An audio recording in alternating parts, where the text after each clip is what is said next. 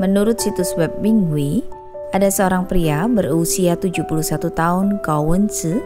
Ia tinggal di pinggiran kota provinsi Liaoning, kota Hulutao. Ada sebuah desa dengan 30 keluarga, kondisi jalan sangat buruk setelah bertahun-tahun tanpa pemeliharaan.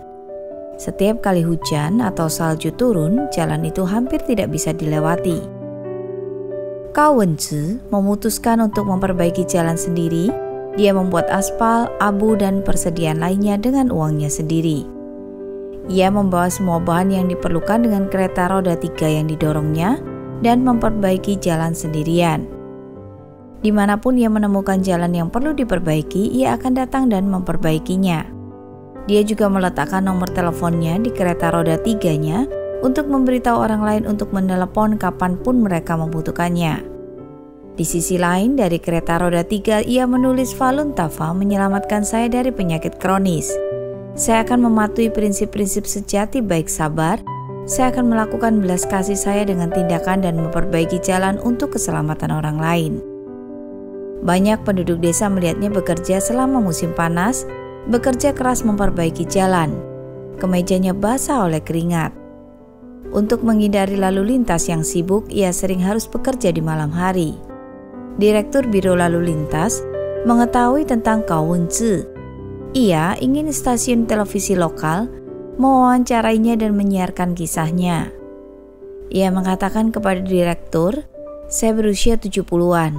Saya didiagnosis dengan dua kanker kronis dan difonis satu tahun bertahan hidup.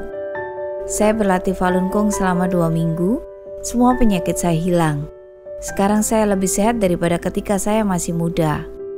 Prinsip-prinsip Falun Gong mengajari saya untuk memperhatikan orang lain terlebih dahulu. Jalan menjadi tidak aman setelah bertahun-tahun digunakan. Jadi saya memperbaikinya. Kawun Tzu mengajukan gugatan pada tahun 2015 terhadap Jiang Zemin yang meluncurkan penganiayaan terhadap Falun Gong.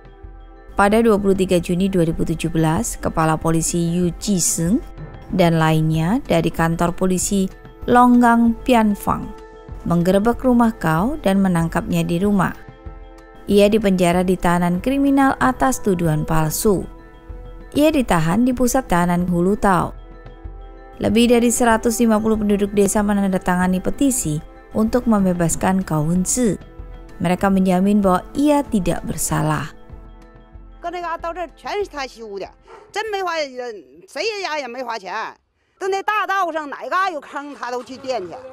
都他的，真没花谁家也没花钱。就那大道上哪嘎有坑，他都。他垫的，嗯呐，可好了，那老爷子真好人。啊，这这条路是高老爷子给修，自己花钱修的，不够还老爷子还借。这老爷子说不说是被抓起来了？你说你这好人，你抓他干啥呀？是。